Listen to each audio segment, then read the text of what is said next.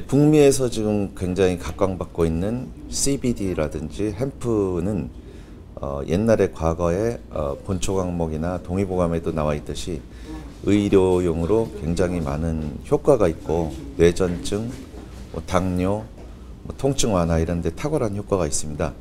그래서 어, 국내 대표적인 풍기인삼과 어, 이, 물, 어, 이 원료를 같이 상품을 개발하면 엄청난 시너지 효과가 있을 거라고 생각됩니다.